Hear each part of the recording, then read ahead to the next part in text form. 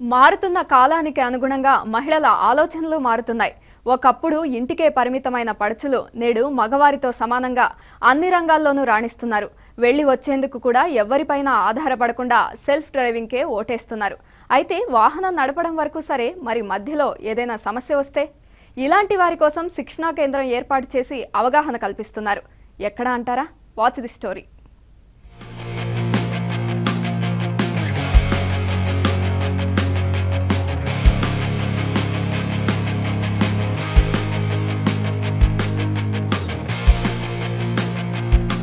ఉన్నతంగా ఉండాలనే ఆలోచన నలుగురిలో ప్రత్యేకంగా కనిపించాలనే ఆకాంక్ష ఇంటి పనులు ఎవరిపైన ఆధారపడకుండా బొంగరంలా తిరుగుతూ చేసుకోవాలంటే తమంతట తాముగా వెళ్ళి రావాల్సిందే. ఇలాంటి పరిస్థితుల్లో ఎవరి స్తోమతకు తగ్గట్టు వాళ్ళు టూ వీలర్ ఫోర్ వీలర్ ఎంచుకుంటున్నారు. ఎంచక్క డ్రైవింగ్ నేర్చుకుని రివ్వున దూసుకుపోతున్నారు. ఇదేం కొత్త కాదు కదా అంటారేమో. నిజమే. అయితే మొన్నటి వరకు ఉన్నత వర్గాలకే పరిమితమైన ఈ హడావుడి ఇప్పుడు మిడిల్ క్లాస్ కుటుంబాల్లోనూ తప్పడం లేదు. కాలంతో పాటు పరిగెత్తాలంటే నేర్చుకోక తప్పని పరిస్థితులు వచ్చాయి. అందుకే టూ వీలర్ ఫోర్ వీలర్లు నడిపే వారిలో నలభై శాతం మహిళలే ఉంటున్నారు. నేర్చుకోవడం డ్రైవింగ్ చేయడం వరకు సరే.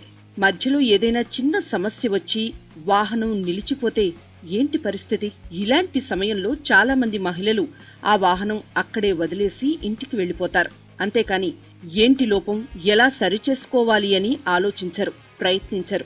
ఇలాంటి వారి కోసం విజయవాడకు సమీపంలో ప్రసాదం పాడ్లో మహావీర్ స్కోడా జీతో మహిళా విభాగం ఆధ్వర్యంలో మహిళల కోసం ప్రత్యేక శిక్షణా కేంద్రాన్ని ఏర్పాటు చేశారు.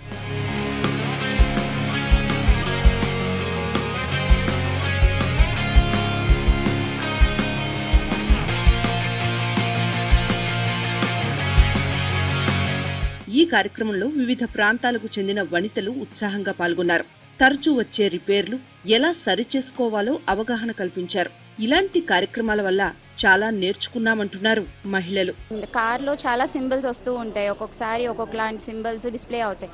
అవి ఎందుకు వస్తున్నాయో మనకు అర్థం కాదు. సో వాటి గురించి డీటెయిల్గా ఎక్స్ప్లెయిన్ చేశారు. అండ్ కార్లో ఉన్న ప్రతి పార్ట్ గురించి ఓపెన్ చేసి మరీ చూపించారు. వర్క్షాప్ అంతా చూపించారు.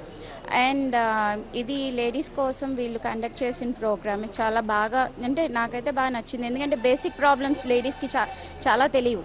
ఎందుకు నేను దగ్గర దగ్గర పదేళ్ళుగా డ్రైవ్ చేస్తున్నాను కారు కానీ నాకు అసలు ఆ కార్లో ఎటువంటి ప్రాబ్లమ్స్ వస్తాయి అప్పుడు వచ్చినప్పుడు ఏం చేయాలి అనే బేసిక్ నాలెడ్జ్ లేదు. ఎప్పుడైనా ప్రాబ్లం వస్తే కారు వదిలేసి వచ్చేయడమే తెలుసు నాకు.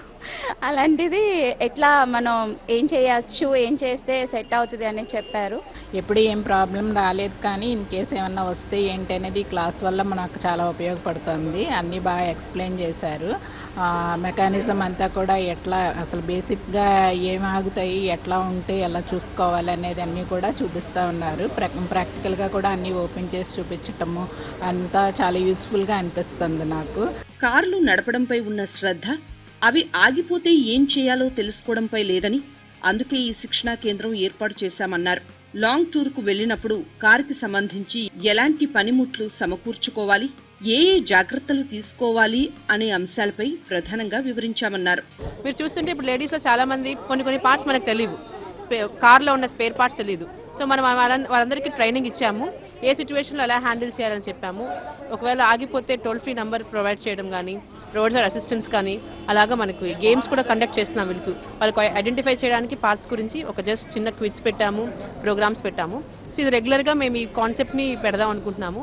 సో చాలా మంది లేడీస్ ఇప్పుడు డ్రైవ్ చేస్తున్నారు కాబట్టి వీళ్ళకి అందరికీ అవేర్నెస్ ఉండాలి డ్రైవింగ్లో అని చెప్పి ఈ ప్రోగ్రామ్ కండక్ట్ చేస్తున్నామండి. Uh, we've had a lot of enthusiastic response from our lady customers, a lot of questions they have asked. In fact, some questions uh, also forced us to go back to our books and refer and give them answers for that. And one thing I'm sure about is after this evening's experience, they are going to be handling their cars much better then what they doing before this is their commitment to us ఇలాంటి శిక్షణా తరగతులు రాష్ట్ర వ్యాప్తంగా నిర్వహించడం వల్ల చాలా మంది మహిళలకు ఉపయోగకరంగా ఉంటుందనే అభిప్రాయాలు వ్యక్తమవుతున్నాయి